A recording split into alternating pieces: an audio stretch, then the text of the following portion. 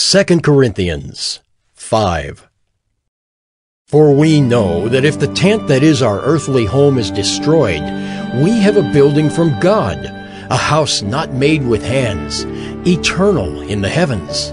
For in this tent we groan, longing to put on our heavenly dwelling, if indeed by putting it on we may not be found naked. For while we are still in this tent, we groan, being burdened, not that we would be unclothed, but that we would be further clothed, so that what is mortal may be swallowed up by life. He who has prepared us for this very thing is God, who has given us the Spirit as a guarantee. So we are always of good courage.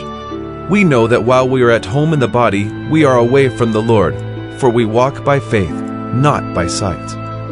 Yes, we are of good courage, and we would rather be away from the body and at home with the Lord. So whether we are at home or away, we make it our aim to please Him. For we must all appear before the judgment seat of Christ, so that each one may receive what is due for what he has done in the body, whether good or evil. Therefore, knowing the fear of the Lord, we persuade others. But what we are is known to God, and I hope it is known also to your conscience. We are not commending ourselves to you again, but giving you cause to boast about us, so that you may be able to answer those who boast about outward appearance and not about what is in the heart. For if we are beside ourselves, it is for God. If we are in our right mind, it is for you. For the love of Christ controls us, because we have concluded this, that one has died for all, therefore all have died. And he died for all, that those who live might no longer live for themselves, but for him who for their sake died and was raised. From now on, therefore, we regard no one according to the flesh. Even though we once regarded Christ according to the flesh, we regard him thus no longer. Therefore, if anyone is in Christ, he is a new creation. The old has passed away. Behold, the new has come. All this is from God, who through Christ reconciled us to himself and gave us the ministry of reconciliation. That is, in Christ, God was reconciling the world to himself, not counting their trespasses against them, and entrusting to us the message of reconciliation.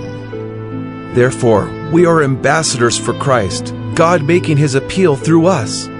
We implore you on behalf of Christ, be reconciled to God.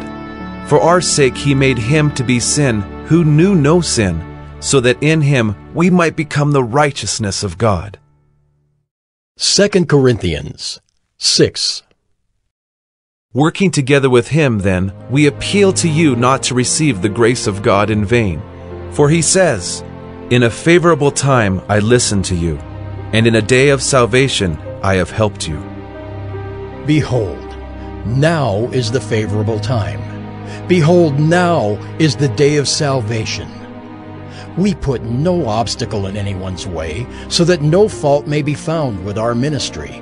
But as servants of God, we commend ourselves in every way, by great endurance, in afflictions, hardships, calamities, beatings, imprisonments, riots, labors, sleepless nights, hunger, by purity, knowledge, patience, kindness, the Holy Spirit, genuine love, by truthful speech and the power of God, with the weapons of righteousness for the right hand and for the left, through honor and dishonor, through slander and praise. We are treated as impostors and yet are true, as unknown and yet well known, as dying and behold, we live, as punished and yet not killed, as sorrowful yet always rejoicing, as poor yet making many rich, as having nothing yet possessing everything. We have spoken freely to you, Corinthians. Our heart is wide open. You are not restricted by us, but you are restricted in your own affections. In return, I speak as to children. Widen your hearts also. Do not be unequally yoked with unbelievers. For what partnership has righteousness with lawlessness? Or what fellowship has light with darkness?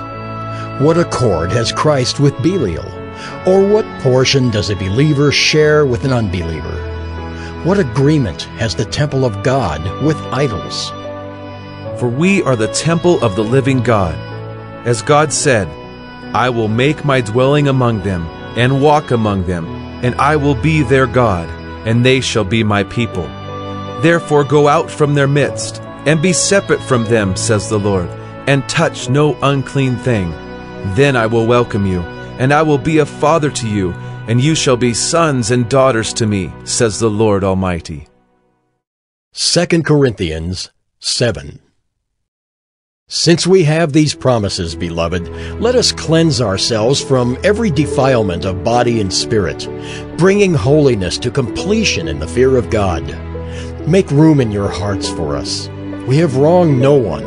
We have corrupted no one. We have taken advantage of no one. I do not say this to condemn you, for I said before that you are in our hearts, to die together and to live together. I am acting with great boldness toward you. I have great pride in you. I am filled with comfort. In all our affliction, I am overflowing with joy. For even when we came into Macedonia, our bodies had no rest, but we were afflicted at every turn, fighting without and fear within. But God, who comforts the downcast, comforted us by the coming of Titus, and not only by his coming, but also by the comfort with which he was comforted by you, as he told us of your longing, your mourning, your zeal for me, so that I rejoiced still more. For even if I made you grieve with my letter, I do not regret it, though I did regret it, for I see that that letter grieved you, though only for a while. As it is, I rejoice, not because you were grieved, but because you were grieved into repenting. For you felt a godly grief, so that you suffered no loss through us. For godly grief produces a repentance that leads to salvation without regret, whereas worldly grief produces death. For see what earnestness this godly grief has produced in you, but also what eagerness to clear yourselves, what indignation, what fear, what longing, what zeal, what punishment. At every point you have proved yourselves innocent in the matter. So although I wrote to you, it was not for the sake of the one who did the wrong, nor for the sake of the one who suffered the wrong, but in order that your earnestness for us might be revealed to you in the sight of God. Therefore we are comforted. And besides our own comfort, we rejoice still more at the joy of Titus, because his spirit has been refreshed by you all. For whatever boasts I made to him about you, I was not put to shame. But just as everything we said to you is true, so also our boasting before Titus has proved true. And his affection for you is even greater, as he remembers the obedience of you all, how you received him with fear and trembling. I rejoice, because I have perfect confidence in you. 2 Corinthians 8 We want you to know, brothers, about the grace of God that has been given among the churches of Macedonia. For in a severe test of affliction, their abundance of joy and their extreme poverty have overflowed in a wealth of generosity on their part. For they gave according to their means, as I can testify, and beyond their means, of their own accord, begging us earnestly for the favor of taking part in the relief of the saints. And this not as we expected, but they gave themselves first to the Lord, and then by the will of God to us.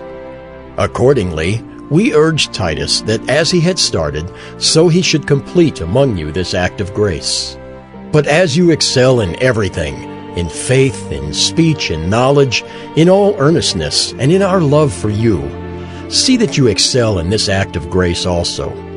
I say this not as a command, but to prove by the earnestness of others that your love also is genuine. For you know the grace of our Lord Jesus Christ, that though he was rich, yet for your sake he became poor, so that you by his poverty might become rich. And in this matter I give my judgment. This benefits you, who a year ago started not only to do this work, but also to desire to do it. So now, finish doing it as well, so that your readiness in desiring it may be matched by your completing it out of what you have. For if the readiness is there, it is acceptable according to what a person has, not according to what he does not have. For I do not mean that others should be eased and you burdened, but that as a matter of fairness, your abundance at the present time should supply their need, so that their abundance may supply your need, that there may be fairness. As it is written, Whoever gathered much had nothing left over, and whoever gathered little had no lack. But thanks be to God who put into the heart of Titus the same earnest care I have for you. For he not only accepted our appeal, but being himself very earnest, he is going to you of his own accord. With him we are sending the brother who is famous among all the churches for his preaching of the gospel. And not only that, but he has been appointed by the churches to travel with us as we carry out this act of grace that is being ministered by us, for the glory of the Lord himself, and to show our goodwill. We take this course so that no one should blame us about this generous gift that is being administered by us. For we aim at what is honorable, not only in the Lord's sight, but also in the sight of man. And with them we are sending our brother, whom we have often tested and found earnest in many matters, but who is now more earnest than ever because of his great confidence in you. As for Titus, he is my partner and fellow worker for your benefit. And as for our brothers, they are messengers of the churches, the glory of Christ. So give proof before the churches of your love and of our boasting about you to these men.